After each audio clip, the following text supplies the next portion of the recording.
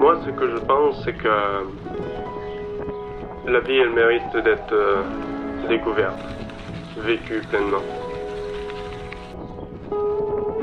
Parce que si tu t'assois tous les jours dans le même fauteuil à lire le même livre, à lire la même page, hmm, est-ce que ça a vraiment du sens? Alors que si tu sortais si tu allais découvrir que le monde a à offrir, les beautés et les merveilles du ciel, passer des bons moments avec des gens que tu connais, ça, c'est vivre.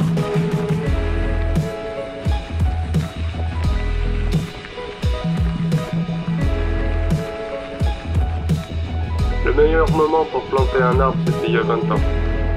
Le deuxième meilleur moment, c'est maintenant.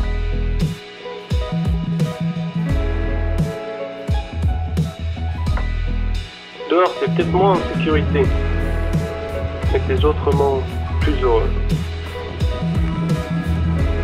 Ce qu'il faut faire, c'est apprendre à aller, à faire les idées, même si elles sont pas mûres, à oser, à faire, au lieu de planifier et d'oublier.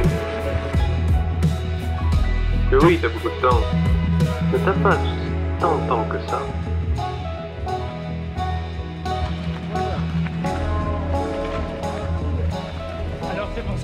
Faire les cons quand on est dehors, sur le vélo, prie. Eh oui, Eh oui, oui, eh oui.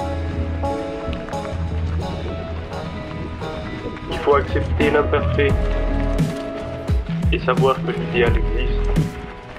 L'idéal existe parce que l'idéal est imparfait.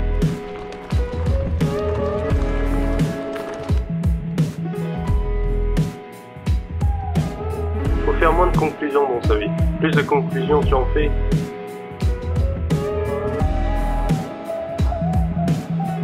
plus tu deviens mort. Moins tu es vivant.